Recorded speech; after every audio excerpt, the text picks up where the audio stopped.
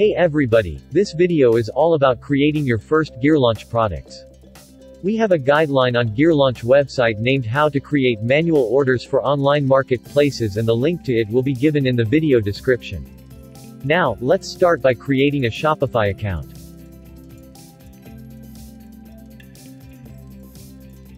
Then download the GearLaunch application. You see the link on your screen right now. Super easy to install and it's totally free.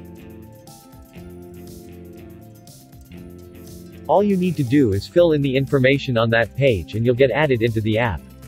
And once you have the app installed, you're gonna be able to create your first product.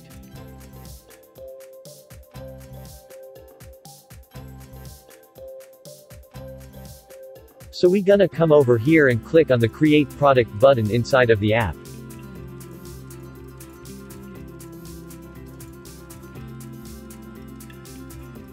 Then click add products. From there, select the product category. Then specify the product you wanna create. For example, we selected the canvas prints category, then the specified product is wrapped canvas 12 by 18.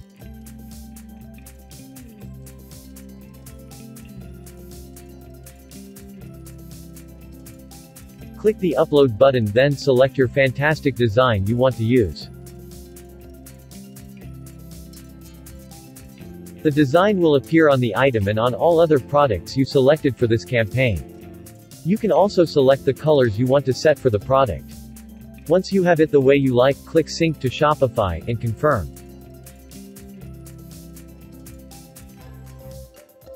There you go. You're all set. Your products appeared in your Shopify page. And you'll be ready for your customers to buy.